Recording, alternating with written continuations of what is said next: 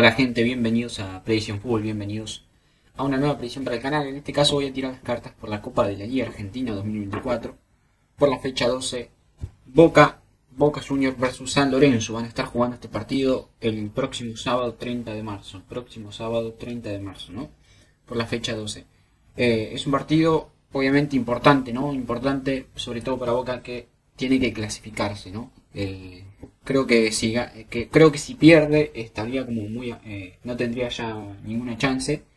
O eso es lo que escuché no pero eh, estaría muy complicado si llega a perder este partido o empatar no eh, pero bueno así que Boca se estaría jugando quizás una final no en este partido. Así que vamos a ver cuántas chances tiene Boca cuántas chances tiene San Lorenzo cómo está la energía de este clásico no clásico que se va a jugar en la bombonera. Así que vamos a ver qué dicen las cartas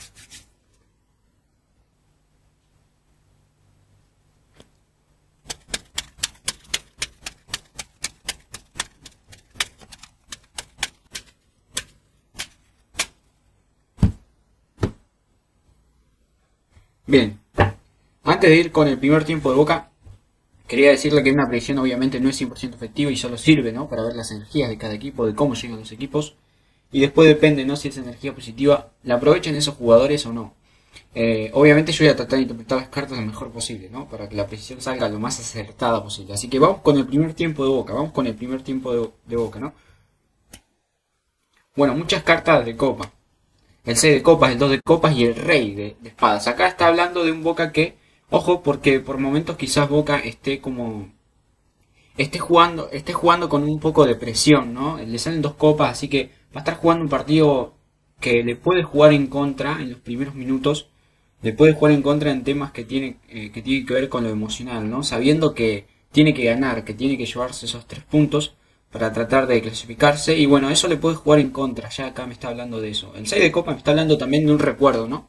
De un recuerdo. Eh, quizás puede ser un recuerdo negativo. Algo, algo negativo del lado de Boca. Algo que lo llegue, que, que Boca, culpa de este recuerdo negativo que va a tener Boca, eh, le va a jugar en contra, ¿no? Le va a jugar en contra emocionalmente, ¿no? A la hora de, los jugadores, eh, como a la hora de, de, que los jugadores salgan a la cancha a jugar en este primer tiempo, ¿no? El director de Copa me está hablando de un Boca un poco más tranquilo, un poco más relajado. Eh, a medida que va avanzando el partido se va poniendo un poco más tranquilo, más relajado y, soltándose un poco de esa presión. Pero el 2 de Copa me está hablando, ojo con algún jugador de Boca que pueda cometer algún error o algún error defensivo en la defensa. Y el técnico con este rey de espadas el técnico viendo algunos problemas que se le pueden presentar a Boca, ¿no? Y el técnico ahí lo ve un poco preocupado y que obviamente va a tener que hacer algunos cambios, va a tener que hacer algo el técnico para ayudar a Boca a, tratar de mejorar quizás en la segunda etapa, ¿no? Pero está viendo que eh, no le está yendo tan bien a Boca, ¿no? Eso es lo que estoy viendo, o que se le van a presentar algunos problemas y el técnico va a tener que hacer algunos cambios, ¿no? Para ese segundo tiempo. Vamos a ver el segundo tiempo de Boca. Bueno, a ver, un partido. Un partido, vamos a ver después las cartas de San Lorenzo. Pero acá veo un partido complicado para Boca. Eh, eh, claramente en el segundo tiempo hay una mejora igualmente, pero le sale el 10 de espadas. Ojo con esta carta. Es una carta que la tomo como en general. Es como que en el segundo tiempo va a haber alguien que se va, que se va de la cancha, ¿no? Puede ser un jugador expulsado, un jugador lesionado en Boca en ese, en ese, en ese segundo tiempo. Eh, en ese segundo tiempo puede haber algún jugador lesionado, un jugador expulsado. También puede ser algún jugador de Racing eh, a lo mejor lesionado expulsado, pero eh, le sale a Boca, así que hay muchas chances de que Boca tenga algún jugador lesionado o expulsado en ese segundo tiempo, o me está representando que Boca, ¿no? Que Boca siente que se va, ¿no? Que Boca siente que no, que no puede ganar este partido, ¿no? Así que, bueno, es, una, es un partido un poco complicado para Boca, pero acá veo el 5 de copas, alegría, celebración, puede haber un momento de alegría, un momento de un Boca que se va a despertar de alguna mala situación y va a quizás a convertir un gol. Vamos a ver si lo aprovecha obviamente. En ese segundo tiempo hay mucha chance de que Boca convierta un gol con este 5 de copas, ¿no? Y el 5 de bastos que me habla de la experiencia, la jerarquía. Bueno, lo que pienso es que esos jugadores con mucha experiencia, con mucha jerarquía van a ser la clave en Boca. En ese segundo tiempo, quizás algún jugador con mucha jerarquía o mucha experiencia convierta algún gol y lo ayuda a Boca para ganar este partido. Quizás sea Cavani, quizás sea Benedetto, algún jugador importante, sobre todo de mucha jerarquía y mucha experiencia que lo va a ayudar a Boca, ¿no? Esos jugadores son los que más se van a destacar en el partido, ¿no? Eh, Vamos a ver el primer tiempo de San Lorenzo.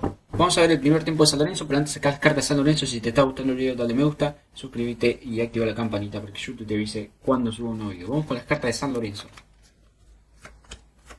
Un muy buen primer tiempo de San Lorenzo. Ojo con San Lorenzo, en ese primer tiempo yo veía, veo a Boca en un primer tiempo un poco complicado. Vamos a ver si San Lorenzo puede aprovechar esto. Le sale 9 de oros, que justamente habla de si San Lorenzo hace bien las cosas, yo creo que va a celebrar, claramente, ¿no? Si San Lorenzo hace bien las cosas y aprovecha esas oportunidades que va a tener en ese primer tiempo, yo creo que va a celebrar, ¿no? Eh, energéticamente está un poco mejor San Lorenzo en ese primer tiempo, claramente. Y el Rey de Bastos me está hablando, mirando hacia el futuro, me está hablando de la experiencia también. Algún jugador con mucha jerarquía o mucha experiencia que se destaque en este partido. Sobre todo el técnico. El técnico de San Lorenzo va a ser clave, ¿no? La formación que haga, los jugadores que ponga, eh, el técnico va, mm, va a ser clave, ¿no? Eh, eh, tanto el técnico de Boca como el técnico de, San Lorenzo, esa formación que haga va, va, va, van a ser clave, ¿no? Para lo que pase en este partido. Y el 8 de Bastos que me está hablando de la libertad y el espacio, ¿no?